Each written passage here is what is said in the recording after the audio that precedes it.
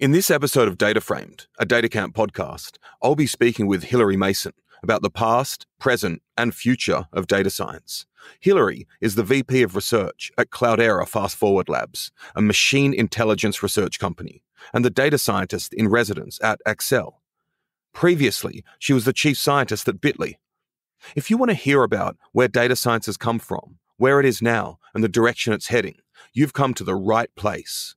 Along the way, we'll delve into the ethics of machine learning, the challenges of AI, automation, and the roles of humanity and empathy in data science. I'm Hugo Bowne Anderson, a data scientist at DataCamp, and this is Data Framed. Welcome to Data Framed, a weekly DataCamp podcast exploring what data science looks like on the ground for working data scientists and what problems data science can solve. I'm your host, Hugo Bowne Anderson. You can follow me on Twitter at Hugo Bowne, and you can also follow Datacamp at Datacamp. You can find all of our episodes and show notes at datacamp.com slash community slash podcast. Hi, Hilary, and welcome to Data Framed. Thank you. So great to have you in the show. I'm really excited to be having a conversation today about data science, what it is, where it's come from, the past, present, and future of, of this emerging discipline. Uh, but before we get into that, I'd like to find out a bit about you. Okay, sounds like fun. So, how did you get into data science? Oh, it's a good question because, you know, when I started my career, data science didn't exist. And so I started in academic computer science in machine learning um, a long time ago, about 20 years ago. Um, and, you know, realized after some time I actually really like building products and systems that touch real people and real data and that Furthermore, most of the interesting data was not in academia, it was actually in companies that were starting to collect this data on the internet as a side effect of their business operations. And so I ended up moving back to New York City, which is where I grew up, and joining some startups to work on, you know, hard algorithmic problems um, that would open up some product possibilities. And so data science started to emerge for a variety of reasons about that time. And this, you know, we're talking about 10 years ago. And so I've been pretty involved with it for for a long time. And I think uh, whether we call it data science or machine learning, it's really just different perspectives on using data to build interesting applications. Um, and so it's been uh, it's been a while. So when you say touch real people using real data, we're talking about seeing an effect um, on the ground. And I presume the startups that you started working for when you came to back to New York City, you were working on these types of projects. Yeah, so it's really the difference between working on an algorithm that may satisfy some theoretical requirement or working on a toy data set and then looking at data actually generated by people or from human behavior that can then be used to provide some application or service. And so one of the first companies I worked with was actually building models of career progression and career evolution by looking at a few million resumes. And so this was long before LinkedIn had any of these similar features. So we were able to actually see that, you know, oh, if you're a software engineer and you want to be a CEO one day, here are the jobs that other people tend to get in the meantime that will will take you from point A to point B. Or we would see other things like if you start as a lawyer there was a 50% chance you'd be out of law in 5 years whereas accountants would stay in law or stay in accounting 90 something percent chance they'd still be accountants 5 years later. And that's what I mean by real data. It was giving us this insight into human behavior that was previously not out of reach, but was too expensive to apply to these sorts of fairly trivial problems. And so this is an example of what what, what you'd refer to as a data product. Yes. The the product piece was the the part where where a person could actually come along and ask these questions. Um, but the data science part was getting these resumes, parsing these resumes, building the models, and then actually hooking it up to the product in a useful way. Yeah, cool. And what other types of projects were you working on when you came to New York? Looking at data extracted from 3D environments to understand um, and infer likely intents and actions. So, looking at data from things like World of Warcraft or Second Life, which was cool at the time, I will remind you, to try to figure out what people were attempting to accomplish in those environments. And that also had an interesting real time aspect to the classification problem. Um, I also ended up working at a company called Bitly, which is a social media analytics company. Um, in 2009, I was there for four years as their chief scientist. And that was really at a time when there was not a defined practice of analysis of social media data.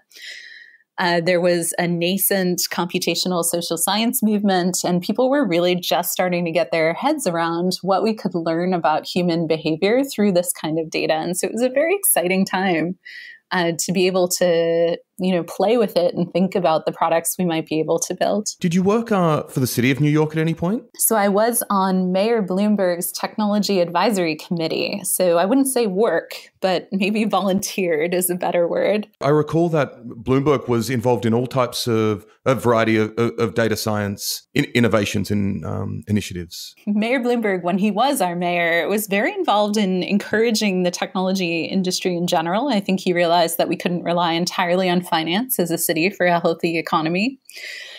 Um, and in in many ways using data more effectively. So building the mayor's office of analytics and using their own data as an internal tool to guide the use of scarce resources, and you know, in in many cases, actually to make city services more efficient, to actually you know save and improve lives.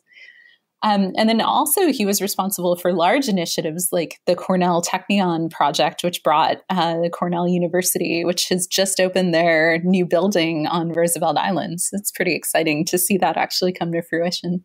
That's really cool. And I, I recall there was there was an example of um, an initiative to do with uh, ambulances and allocation of city resources in that sense. Sure. And this is one of my favorite projects to talk about because it is fairly trivial data science work that actually leads to a very important impact, right? So, this is work that was done when Mike Flowers was the chief analytics officer. And I believe the work was done by Lauren Talbot, who's one of the statisticians on his team. And they looked at where ambulances should be sitting in order to be optimally located for the likely distribution of incoming calls. And they found that, of course, they're not actually sitting in those locations um, they figured out that what the ambulance drivers really wanted was 24 hour bathrooms and coffee and other services so that they could actually be comfortable. They found them those services in those more optimal locations and actually managed to reduce the ambulance response time fairly significantly. And I love this project for several reasons. So, one is that it actually shows that data science can have a significant impact in the real world. So, it's not just are you going to watch this movie on Netflix or are you going to buy this thing on Amazon? It's actually you know making our city more efficient and saving lives and then the second part of it is that it's actually about going outside and asking people, you know, why are you sitting where you're sitting? What's important to you in getting to an optimal answer to this question? And taking those human factors into account.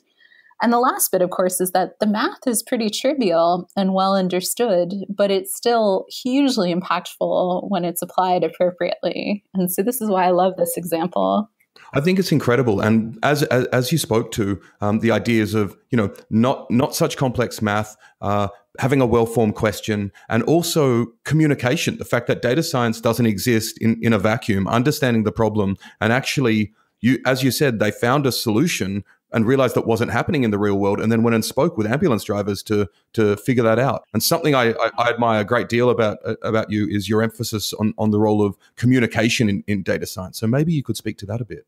Oh, I think um, the best data scientists are people who are pretty empathic and are able to understand you know what is important to solve. I mean the it, the truth is that framing the questions is where the challenge is. Finding the answers is generally a trivial exercise or an impossible one. And when you think about it that way a really great data scientist can sit down with somebody understand the thing they're trying to make a decision about or what they need to know go away, um, MacGyver up some analysis with the data that is available or could be available in the tools they have at hand. They can go back to that person and explain to them what they've learned in a way that lets that other person make a better decision. And when you frame data science work in that kind of context, it becomes really about how well you can understand somebody else's domain and somebody else's needs, and then how well you can do your own work to satisfy those needs. And it's not about whose math is the hardest math, it's really about how do I get to a robust problem definition that I can solve that will actually give someone an insight they didn't otherwise have? So, we're here to talk about data science as a function of time, where it came from, and, and the direction in which it's heading. What factors led to the emergence of data science as a discipline? So, it's not an accident that data science emerged about 10 years ago because, and it, it is a technological artifact in the sense that technology had progressed to the point where the multiple things that a data scientist does could be combined in one professional role. Those things being actually write code and build models. So there's a technical skill set and tool set that had to be created. The data had to be available, which was also not the case before 10 years ago or it was very expensive to make that data available. And then you also needed a set of um, problems and processes and ways of thinking about the world that let you put all these pieces together. And that's the broader communication and empathy piece, right? And so we hit a point where previously it's not as if this was new work at all. Like people have been using databases for nearly a hundred years for solving business problems. But it was newly affordable and newly so easy that one person could take on everything from the sort of problem formulation through to the analysis, to the visualization, to the communication, to the eventual decision making as well, in a way that it just hadn't been before. And it opened the door to the creation of this new job role um, of data science as something that is itself distinct. And where did we see it emerge? Which disciplines or fields? So I see, and keep in mind, my background is computer science, so I have a bit of a bias here, but I do see data science as a blend of. Um, it, it's essentially as if computer scientists had stolen a lot of the wisdom of statistics. Yeah, I like it. And so it is a blend of computer science statistics and then and we're also seeing more influence from social sciences now as well. Yeah. So, and also, as you said before, um, communication, journalism, storytelling, all of these as well. Just the kinds of business uh, fluency skills that we expect most professionals to have today. So, where is data science now and, and what's it capable of? So, data science has become a real thing, which still kind of astounds me that there are potentially thousands of people running around with that job title. Um, and it is accepted as a role in an organization. And it's something that, you know, if you mention that you do data science at a dinner party, you're probably not going to get people turning around and walking away. Like people think it's actually an interesting thing to do. And I also believe we're starting to see data scientists make large contributions to their organizations and not universally. And there are certainly still challenges to overcome. But the value of data science from a business point of view is pretty clear at this point the questions I have really are, you know, how will the practice of data science be changing over the next five years? Will we still be using that title or will we all be, you know, like AI monkeys or something else? Even though, of course, the fundamental skills will remain the same. Um, those things I'm not entirely clear on yet. And so we're definitely going to talk about the future of, of, of data science very soon. Uh, but I want to know which which industries, which fields do you see data science having being capable of having the most impact now? So right now, and here I'm speaking through the lens of our work at Cloudera Fast Forward Labs. I mean, we see huge impacts across industries, but some are more mature than others. So particularly in finance, um, though not necessarily in the places you'd expect. We see, um, you know, large progress being made, and this is largely because these companies have a lot of data already, and a fairly like finance has a long history of making data useful.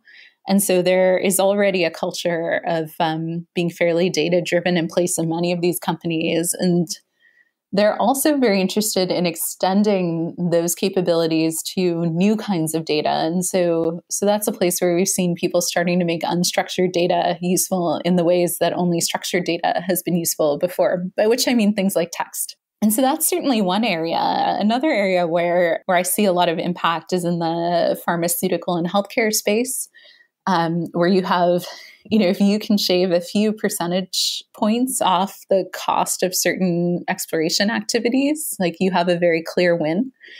Um, and data is certainly a tool for doing that. Uh, we work pretty heavily in media as well. And so, you know, that's things like understanding your audience, helping them find content they'll love, helping them engage with that content, making sure it's shared optimally across different platforms. Um, yeah, so it, it's not any one place, but uh, but really um, pretty distributed. And when I started the work at Fast Forward Labs about three and a half years ago, I thought we'd probably end up working in one industry or maybe two. But that really hasn't been the case. And it turns out that um, the thing that everyone has in common is the data, and the math is the same. So, whether we're generating celebrity gossip reporting on fashion or we're writing a program to generate language about portfolio performance, it's the same mathematics and same techniques that enable those data applications. And so we've seen pretty broad, broad use. That's cool, and I, I, like the examples you you give because finance and pharma, for example, I spe- I think speak to this idea we were discussing earlier that uh, data science existed in certain disciplines before the term came about, right? So in finance and pharma, they've been doing data science or analogs of data science for, for, for, decades, if, if not longer. Absolutely. And the same in insurance, though I found that insurance as an industry is only now really picking up on modern data science. So it's a pretty exciting time if you work in insurance analytics right now.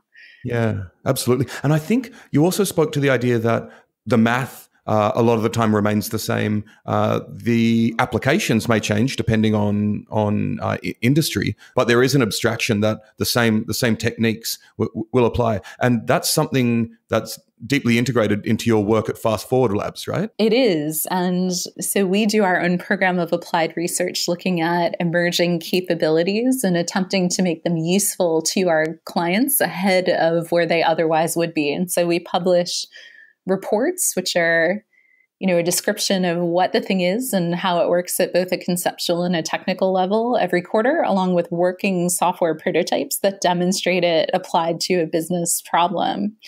Um, but we try to choose problems where people have a fair amount of empathy for it. And so they can look at the prototype and say okay you know i understand how this technique can be applied to my work and so, just to give you one concrete example, we recently did a report on algorithmic interpretability. So, these are new algorithmic techniques that you can run on top of black box algorithms, um, such as you know neural networks or other deep learning approaches, um, to uh, you know at a very high level permute the inputs and look at how the outputs change, and then infer the significant features in the classifications that those black box systems are making. And our business problem definition or demonstration was on a black box model of churn for a telecom. This was a real problem we advised one of our customers about, where the interpretability capability was used to be able to see which features of the customer were leading them to churn. So were they paying too much? Were they on an old technology? And you could also change those things and get a, a, model of how the prediction changed, which actually enabled new marketing and new customer service actions. That's awesome. So, once again, this takes us back to the idea of being able to communicate technical data science results to, to stakeholders. exactly that. So, the idea is that an executive or an engineer can look at this and say, okay, I get it. I see how it works. I can now apply it to my problem whether that problem might be doing something like bias testing for regulatory compliance using the same mathematical technique, or it might be something like inspecting a prediction model for you know when and where to spend resources whatever it is you can get a very good intuition for the algorithmic capability and then figure out how to transfer that into your specific domain and problem set. I think that's a great example. And i actually i think your, your colleague uh, mike williams uh, gave a webinar on this, didn't he? Yes, he did. Yeah, and I tuned is... into that. That was awesome. oh, that's very cool. That, that's up that... on our blog if you're oh, curious. Great. Well, we'll put that in the show notes, definitely. Awesome. Now it's time for a segment called Statistical Pitfalls. I'm here with Michael Betancourt, core developer of the open source statistical modeling platform STAN, who also goes around at parties calling himself a once and future physicist masquerading as a statistician. What's up, Mike? Thanks for having me, Hugo. It's true. I am really fun at parties. You sure are. But today, you're here to tell us about a common statistical trap selection bias. Indeed. So, selection bias is arguably present anytime we collect data. Before talking about generalities, however, I want to first consider how subtle it can be by considering one of the most famous examples of selection bias, which came out of an analysis in World War II led by the statistician Abraham Wald. Now, the Allied military was interested in how they could most efficiently use their limited resources to supplement the armor of the damaged aircraft that were returning from combat missions. The planes returning would be damaged in particular locations, and popular thinking was just to add more protection to where the damage was observed. This thinking, however, implicitly assumed that the returning planes were representative of the entire population of damaged planes. Wald and his team recognized that the returning planes were in fact a bias sample because they didn't include the planes that had never actually made it back from their missions. Once they understood the selection bias in their data, they recommended a seemingly counterintuitive strategy of reinforcing armor in places where the returning bombers were undamaged. What they had realized was that if potential damage was uniformly distributed across each plane, then the damage on the returning planes actually demonstrated what damage was survivable. It's harm to the undamaged areas that was likely to be critical and prevent the planes from returning. And this is an example of selection bias, right? Yes, exactly.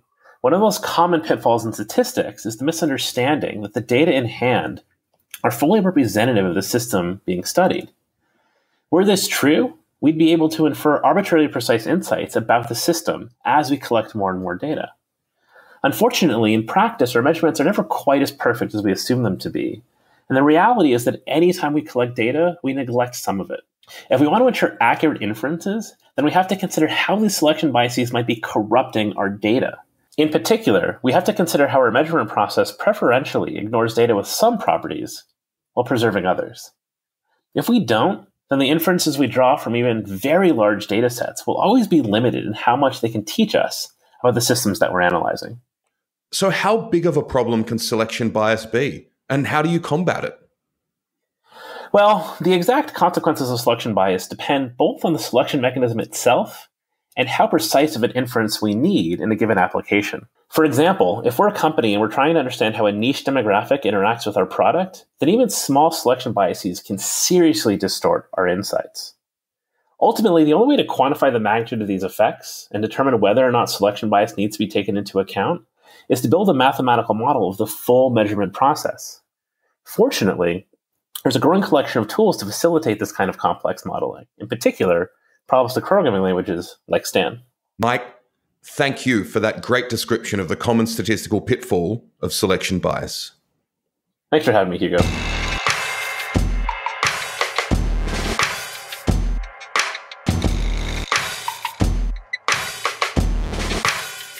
Now back to our interview with Hilary Mason. So we've discussed a bunch about what data science is, is capable of, but we've also heard that data science is, or data scientist is one of the sexiest jobs or the sexiest job of the 21st century. So there's a lot of hype uh, around the term data science. Uh, and with such hype, I think there's also a healthy skepticism that needs to be invoked. What isn't data science capable of? What can't data science do? I mean, that's a really great question, but it also comes from this framing where we assume that the default is that data science can do anything, right? So mm-hmm. um, it's pretty clear that data science can often tell us what to expect or, you know, what might happen, but not why. And so, if you want to understand the why, you really have to go talk to people. You you have to understand that a lot of that knowledge is, you know, based it's in someone's brain. It's from their experience, and this is things like, and and this applies to the entire umbrella of data capabilities, from analytics up to these more complex, you know, and interesting sort of neural network models. You might get a result that you just don't know why it's doing what it's doing, or you might see something in your data that you can't explain. So, like one company, I looked at their analytics, and it was an e-commerce company, and they had a unexplained but repeated trend of increased orders in March. And this is something that you can see very clearly in the data. I had sufficient data to be able to make a prediction for the following year. You could understand the trend from a mathematical point of view, but you could not explain to anyone why that was happening. And it turned out to take quite a bit of digging to figure out what was going on there.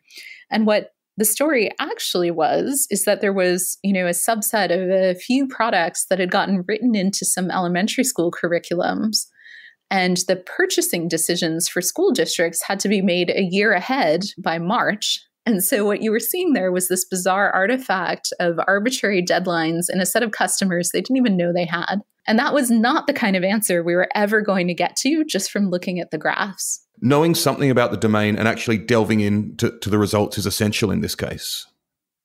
Yes, so data science, the science part, will only take you so far. We also see a, a, a rise in uh, awareness about such challenges as algorithmic bias, um, whether it be algorithms encoding societal biases or human biases, or algorithms creating their own biases as well. Is this is this something um, you're actively thinking about?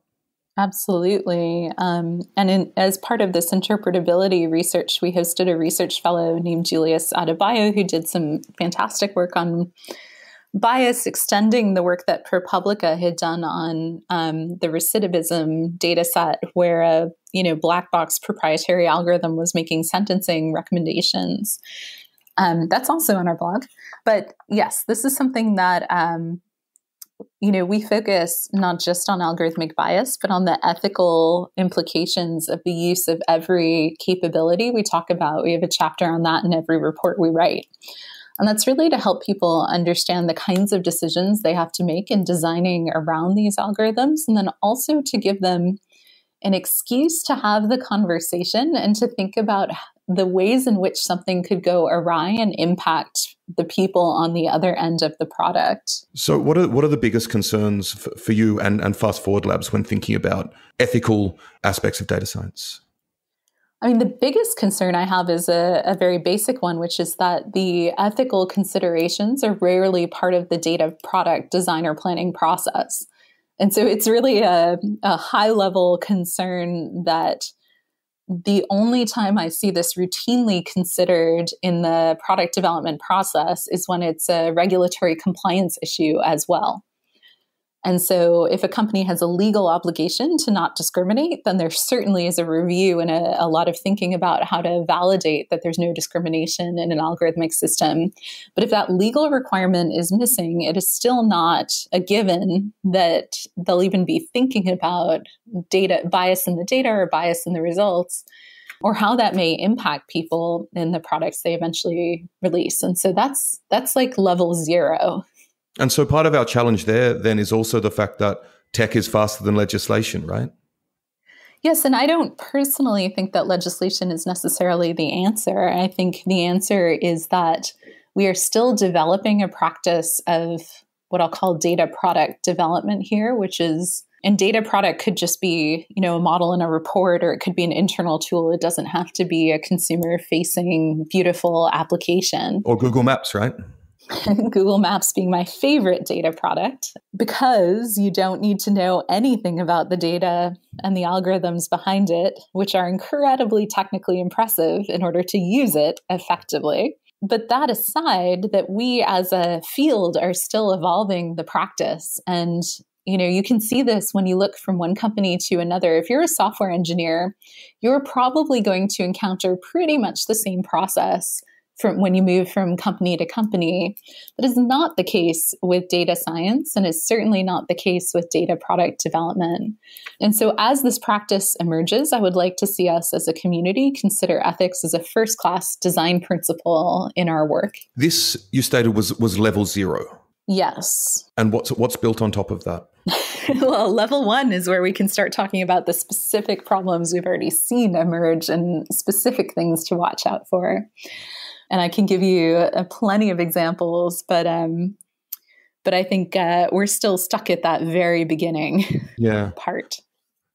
So bundled in with, with all of this, what data science is, what what it isn't. There are a lot of buzzwords floating around that are very substantive as well. But I, I need your help to demystify them. Uh, examples such as deep learning and artificial intelligence are probably the most most prevalent that have gained currency and getting a lot of attention. What terms and language do you think need to be clarified in the data science space, um, particularly with regards to what what they are actually capable of? So I spend a huge amount of my time just clarifying the use of different terms in a given room because it's not, we can't take for granted that when someone says AI, they mean the same thing that I would mean when I say it. Um, and the meaning of these words has changed dramatically in the last few years, uh, and I expect will continue to do so. And so, right now, at this moment in December of 2017, you know, we have seen a um, huge increase in the popularity of deep learning neural network techniques for very good reason. It's opening up capabilities that were simply impossible five years ago.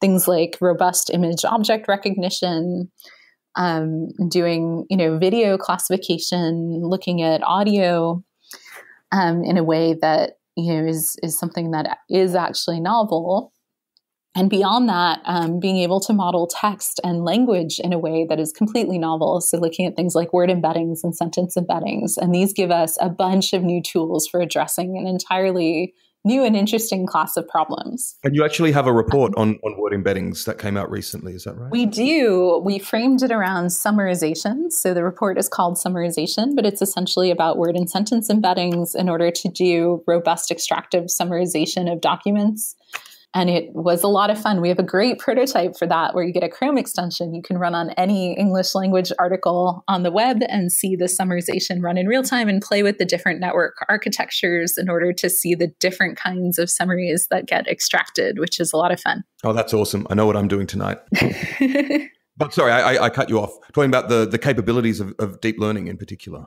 Right. So deep learning is a, you know, again, it's one of these terms where there's no hard limit for how many layers you need in a network to be deep. So at this point, anything that's pretty much a neural network, even if it's one or two layers, is deep learning.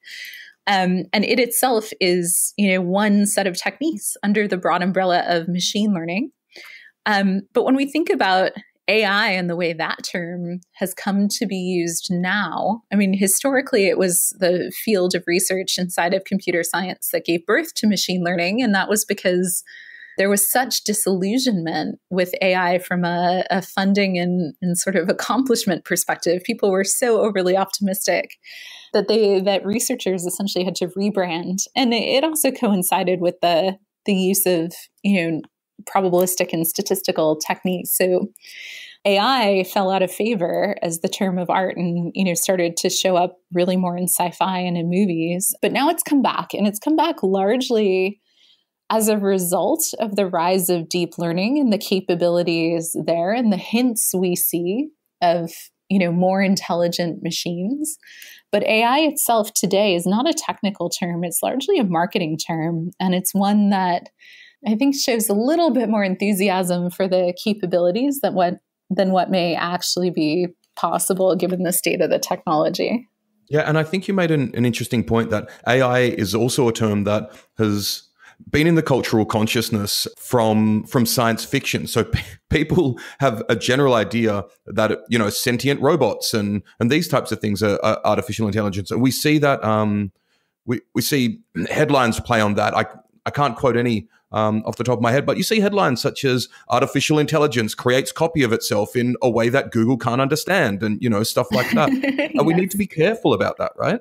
Right. And one of the things I've found most fascinating about the emergence of AI as a term now is the way it has changed the language that people use to talk about what is still fundamentally a computer program, in that it implies this uh, this kind of anthropomorphism and we talk about the AI, and I'm putting this in air quotes, as if it's a person in a way that just changes the expectations people have of its capabilities. And I do think we have to be pretty careful uh, with the, that sort of language and the impression that it encourages people to take away. And I think part of this anthropomorphic process is that we have had this term ported from science fiction because we all know Blade Runner, right? And what replicants are and these types of questions being posed in that space.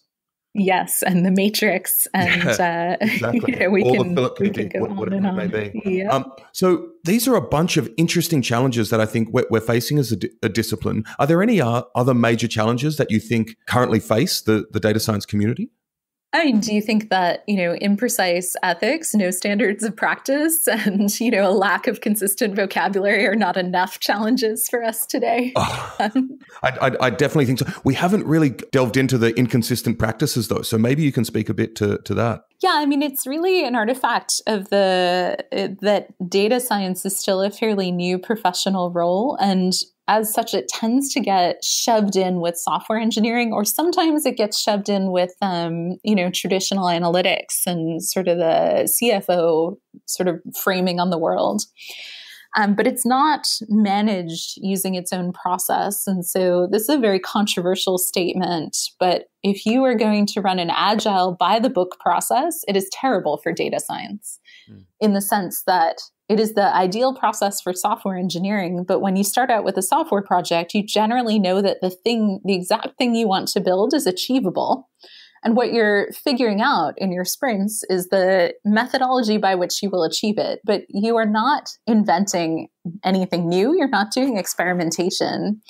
In data science, you are doing experimentation. You have a question. You are trying to get to an answer, and you don't necessarily know at the beginning if it's going to work. And if you do know, then I'd, I'd say what you're doing is a little bit more analytics than it is data science. And so, trying to shove this into the established practice that works very well for engineering does not work for science. And I've seen many companies where you know they end up with a lot of wasted effort and friction because they you know don't manage data science as its own thing. And what are the most important aspects of the data science process that you think need to become more rigorous or develop a process or methodology on whether it be you know data mining documenting data lineage um, through to the actual development of a, of a product so all of these things are important, right? So you need to know what data you have, where that data comes from, why it looks the way it looks. Did someone make a decision about, you know, a database field being of a specific length or a specific type? And if so, why did they make that decision and what might you be losing? Um, all of that is important to being able to do accurate data work. But from a data science practice point of view, when you set out to do a project, you generally start with a question or something you're trying to understand. And I always encourage people to write that down and to write it down in plain language so that anyone in the business can understand it, not just people who are technical. And that is actually harder than you think it is. So I've had plenty of data scientists be like, oh, that's easy. I'll have it to you in 10 minutes. And then two days later, they're like, oh man, this is actually not so easy. I love that because um, that actually speaks to the fact that data science answers questions that exist independent of data science, if that makes sense. I'm thinking about it. I think it does. So we can um, pose the question in the world before data science exists, and then data science is a tool to answer this question, which we can pose without using the language of oh data science. Oh my gosh, you're right. This is beautiful. so question two, once you have a problem statement, is really what are the error metrics by which you'll know you have a successful solution to the question you have posed? And hopefully these are quantitative error metrics, but sometimes they aren't. And I've also found as someone managing data science teams, we have a lot of shame when we don't have proper quantitative error metrics. And so I want people to admit before they even start the work that this is how we're going to know that we've solved the problem. Mm-hmm. And this is just the way it is. And these are problems like working on search engine algorithms where, you know, so you can you can pull together a couple of things that give you some notion of whether your algorithm is better than random. Um, but getting to a true quantitative metric really requires a volume of user data that may or may not be available to you depending on what kind of company and product you're working on, right? So you might have to admit that there are no quantitative metrics, and that's okay. And then the next thing you need to answer is really what is the product or business utility of this work? So, why are we doing this? And I always like to phrase this as, you know, assuming we can answer the question successfully, what is the first thing we'll do with it? And that phrasing is very careful because I find that well run data science practices have multiple uses in mind for pretty much every piece of work. So, everything you do opens up the ability to do something else or to do something new uh, faster and cheaper than you could have done it before, which also speaks to a set of requirements around practice. Or if you have a team, they need to be sharing business definitions of the data, they need to be sharing code and capabilities. And so a lot of things fall out of just having a really nice process around how you frame the problems that you're going to explore, how you make sure that they're worthwhile and impactful. Because we also have this problem where we as a group tend to get very excited about interesting things that are not necessarily impactful, and you don't want someone vanishing down a rabbit hole for a few months and coming back with something that's not really useful. And then how you know when to stop spending time on something, because one of the big differences between academic computer science work and data science work is that you're in a business. You don't generally have two years to think about one problem. Um, and in fact, that's one of my favorite interview questions is, you know, okay, what's the proper approach to thinking about this problem? And then, okay, that's a one year solution. What's your one week version and what's your one day version? Yeah, and the desired um, metric or how well your model performs or whatever it may be, may be a function of how, how much time you have for the project, right? Absolutely, or what your budget is for testing and all of these things. And so it's really um, developing a discipline around those aspects, which, you know, if we look at our sister disciplines of software engineering, right, um, those sort of um, exploratory aspects are much less important um, than they are in data science. In terms of these processes and methodologies being developed and, and made rigorous, is there a concern that this may happen in, in silos?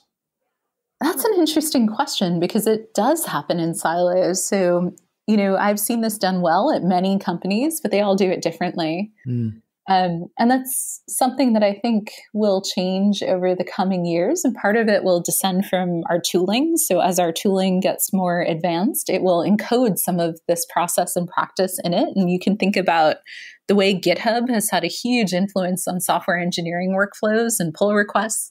And I think that's a good analog for where the tools will take us. But we'll also, hopefully, will converge on some common notions of how what good work looks like. And what what time scale do you predict this happening on? And I know I'm really asking you to do data science now in in, in making a prediction. I have no no data at hand, so what I'm doing is purely intuition. I think it'll happen in the next few years because all of this has happened much faster than I would have predicted. And so, you know, I want to say it's 10 years off, but I actually think it's more like three to four years off.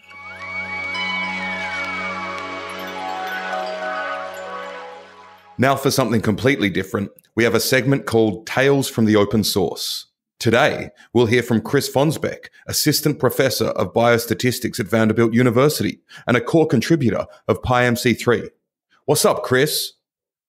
Hi, Hugo. It's good to be here. Thanks for inviting me. It is always a pleasure to chat with you, Chris. What are you going to tell us about today? Well, uh, I'd like to introduce you to an open source project for probabilistic programming. Uh, but before I do that, I suppose I should tell you what probabilistic programming is. Well, if you think about classical programming, about the types of variables you can use when writing a program, what do you think about? Integers, floats, strings, arrays, things like that. In a probabilistic program, we build things using variables that represent random quantities. And here we're talking about things like probability distributions, normal distributions, binomial distributions, and the like, even more advanced things like stochastic processes. What do we need those things for? Well, mostly we use probabilistic programming to build Bayesian statistical models. Bayesian models are really good for estimation and prediction in, in a variety of scientific applications. For example, I use them in my work to model infectious diseases and to conduct statistical meta analyses, but they can be applied wherever classical statistics are used regression modeling, group comparison, spatial data analysis, you name it. They're super flexible and super powerful, and they let you build useful models that are easy to understand and interpret uh, because they're based on probabilities, and, and most people have an intuition about them. The problem is the technical details of using these models are complicated. The good news is today there are quite a few easy to use software packages for building Bayesian models using probabilistic programming. And PyMC3 is, is one of these. The project's been around for a long time, around 15 years, and it's been used a lot in academia and industry uh, to build statistical models. And one of the main strengths of PyMC is that it abstracts away all of the mechanics of doing Bayesian model fitting. And that lets you specify models in a manner not unlike standing in front of a whiteboard and writing out your model using mathematical notation. And this allows users to concentrate on their particular problem of interest rather than the technical details of the underlying computational methods. It gives you everything you need to build virtually any model you can think of. Now, remember those random variable types that I mentioned? PyMC has over 40 different probability distributions built in, and it makes it really mm-hmm. easy to write your own if you have something more complicated in mind. But I think the most compelling feature of PyMC3 is that it provides efficient and easy to use implementations of the latest Bayesian com- computational methods. This means two different things Markov chain Monte Carlo, or MCMC as it's known, and variational inference, VI. You may have heard of MCMC before, associated with software like Bugs or JAGS, but PyMC implements newer, more efficient methods that model gradients to better approximate unknown variables in your model. To make things performant, PyMC3 is built around the Theano library, which is a popular framework for deep learning that's fast and stable. And this, combined with our implemented variational inference methods, makes PyMC suitable for analyzing very large data sets, which are increasingly common today. So, if you're in the market for a powerful open source statistical analysis package for Python, I'd encourage you to take a closer look at PyMC3. The project repository includes a large suite of Jupyter notebooks with well developed examples of the sorts of analyses that are possible. I also strongly encourage folks who are interested in contributing to a scientific computing project like this to visit our GitHub page. We have a slew of ideas for future development that we'd like to implement, as well as many outstanding issues and support tasks, and we could really use your help. And you can find us at github.com slash pymc-devs slash pymc3. Thanks, Chris, for an illuminating introduction to the world of probabilistic programming and PyMC3. Let's get back into our interview with Hilary. So in 2010, so that was seven years ago now, nearly eight years ago. You you wrote with Chris Wiggins uh, a piece called uh, "A Taxonomy of Data Science," in which you proposed what you refer to as one possible taxonomy of what a data scientist does. Uh, That's right. How has what a working data scientist does changed since then, and has anything surprised you about this? Well, if you if you look at what we wrote, and it was uh, you know a short essay to just put down in writing a thing that we had not seen put down in writing yet. So keep in mind, seven years ago, data science was not really a viable career option. Mm. It was not a common job. The phrase had just really come into you know use beyond a couple of companies.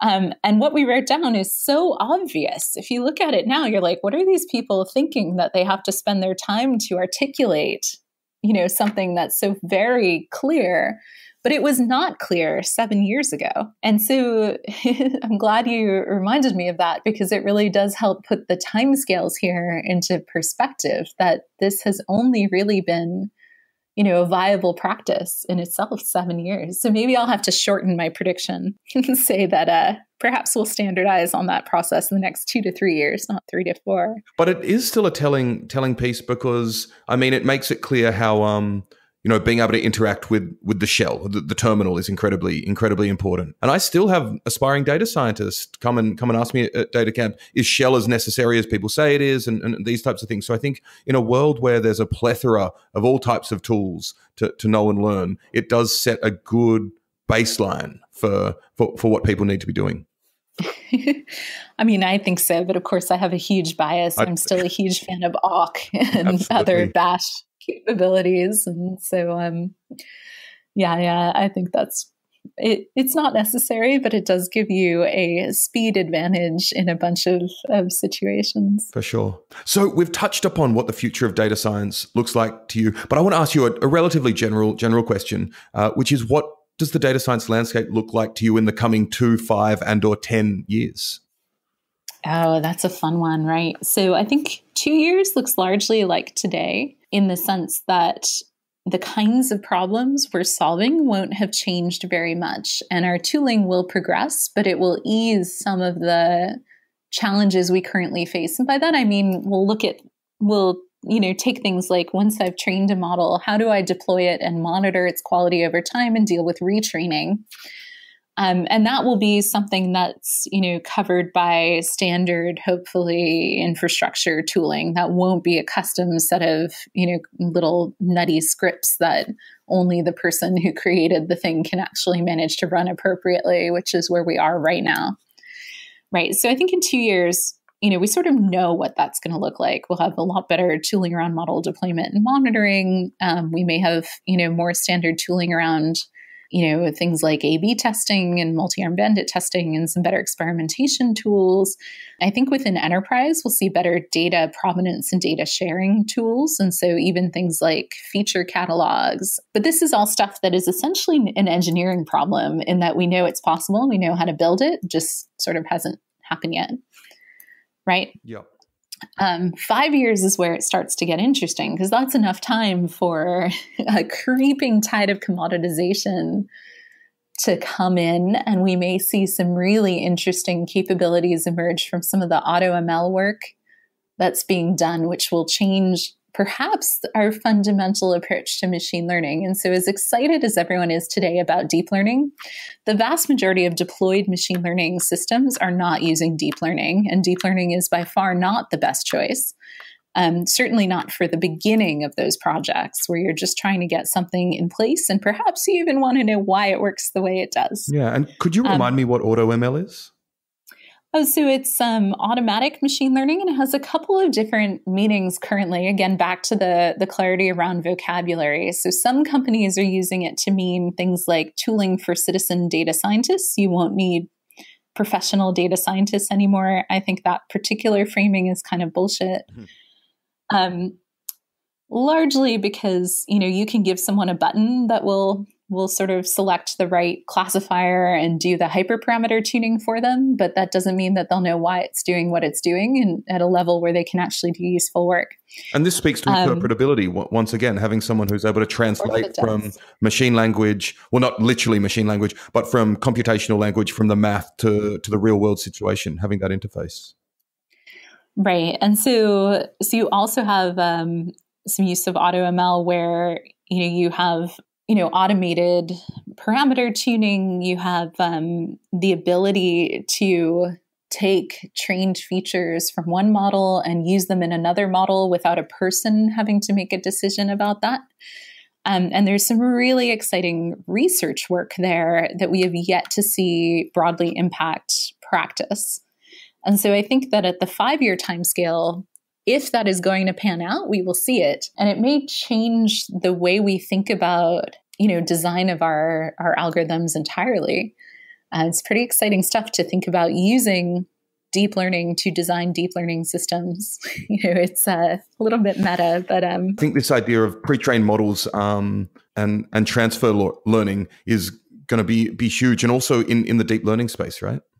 Absolutely. And I also wonder, you know, if you're if you're a large organization, you have many data scientists, like they should not all be working in isolation. And so if one is training on a certain set of data, those those things should transfer to other related problems. Yeah. And so you end up perhaps with a kind of network effect capability that might happen. And this is all supposition because this is the kind of stuff where we today we see hints of it working we don't uh, yet know what the real impact is going to be. And we certainly don't know how it will change process and practice. And we don't know how it'll change our broader set of tools. And so, so there's a, a ton of exciting stuff in that five year time frame that we can start to imagine, but we can't, you know, quite. It, it's still a let's just say we have a lot of uncertainty in that future and I'm presume there's even more uncertainty in in the your 10 year predi- prediction. Oh, the 10 year predictions are, you know, really far out there. Will we even have data science in 10 years? I mean, again, I remember a world where we didn't, and it wouldn't surprise me if the title falls, you know, goes the way of the webmaster. um, and, you know, maybe data science becomes a tool set that we expect every engineer to have or maybe we expect every you know business professional to have it i'm not saying that's what i believe i do think we'll still need the specialists to sort of build and tune and monitor those machines but i also i could imagine that being a Like there's a potential set of universes out there where that's the case.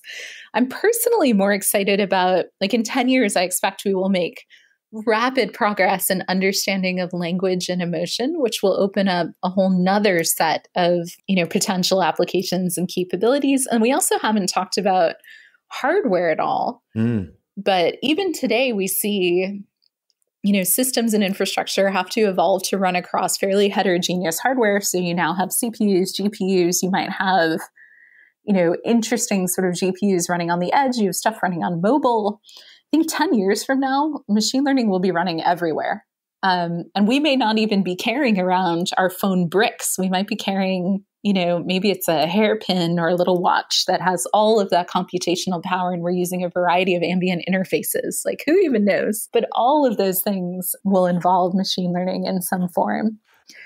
And as you mentioned, aspects of machine learning such as feature extraction, feature engineering, these these things um, are well on their way to being automated to, to a certain extent. And whether data science exists as the field it does today, whether it has a new name, processes of machine learning will still be incredibly uh, important. I'm wondering what parts of the data science uh, process do you think are less likely to become automated? What are the most valuable skills for uh, data scientists to be to, to be working on?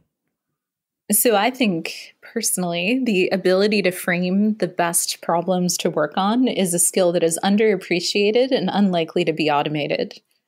That's a great answer. Um, yeah, I mean, it, it's the hardest part. Again, generally the answers are trivial or impossible, yeah. but the problem statement is where the majority of the work goes. And, and, you know, knowing what's useful and valuable is still something that's, it's really hard for people to do well. I don't think we'll we'll get to the point where machines can just, you know, sort of drop in and do it across all domains.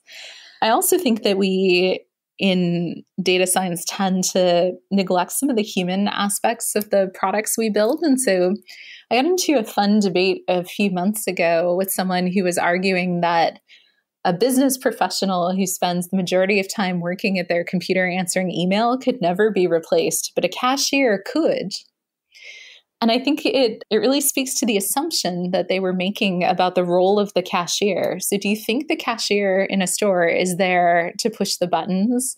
Or do you actually think they're there to be a human presence and interact with someone and say, How's your day? I think we uh, tend not to pay enough attention to the important work of human relationships around the data systems that we build. So, my, my final question is uh, for aspiring data scientists and well seasoned data scientists alike, do you have a final call to action or something you'd like to tell them?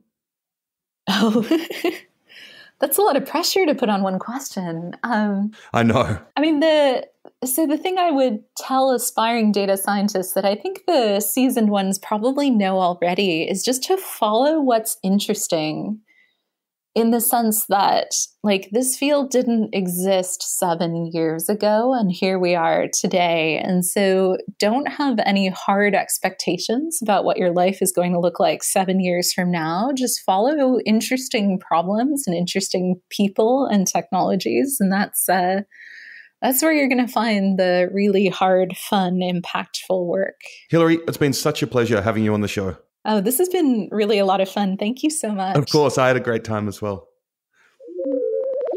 Thanks for joining our conversation with Hilary Mason about the past, present, and future of data science. As we discovered, the future of data science will include a wide array of machine learning applications operating in everyday life. Many common data science techniques, such as feature extraction, may be automated away, but in Hilary's words, the ability to frame the best problems to work on is a skill that is underappreciated and unlikely to be automated. We also heard a call to arms to approach major challenges facing our discipline, such as imprecise ethics, no standards of practice, and a lack of consistent vocabulary, along with an in depth study of what data science currently looks like on the ground. Make sure to check out our next episode, a conversation with Chris Volinsky, Assistant Vice President for Big Data Research at AT&T Labs and a member of the seven-person, four-country team BellKor's Pragmatic Chaos that won the $1 million Netflix prize, an open competition for improving Netflix's online recommendation system.